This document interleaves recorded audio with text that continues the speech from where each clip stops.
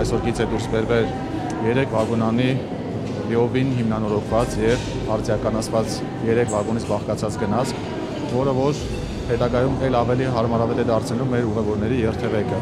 Աշխատանքների մասով նշեմ, որ աշխատանքները իրականացվել են մեր մասնագետների կողմից, մեծ ծավալի աշխատանքներ է իրականացվել վագոնների վրա, թե թափքի եւ թե առանձնահատուկ մեխանիկական հանգույցների վրա։ Ընդհանուր առմամբ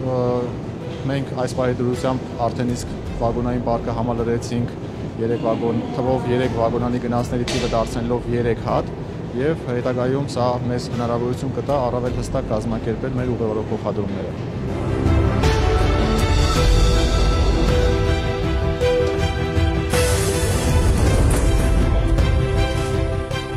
շարժակազմը որպես այդպեսին ամբողջությամբ հիմնանորոգվել եւ արձիականացվել է մասնագետների շնորհիվ եւ ընդհանուր առմամբ խոսքս վերաբերում ոչ միայն թափքին, այլև մեխանիկական հանգույցներին, որոնք եւս փոխարինել են նորերով կամ վերանորոգվել են։ Մտածած արդեն մտածի ժամանակ մենք եթե միասին ուղղությունների միասին տարբերությունը կզգանք, հա։ Շատ լավ է, դե հիմնականը կարևորը հենց մեխանիկական մասն է, այսինքն անվտանգությունը ապահովելը մեր ուղևորների, երևանցիների, դե տեսնել ոչ պակաս կարևոր է, որ մարդիկ հաճույքով երթևեկեն։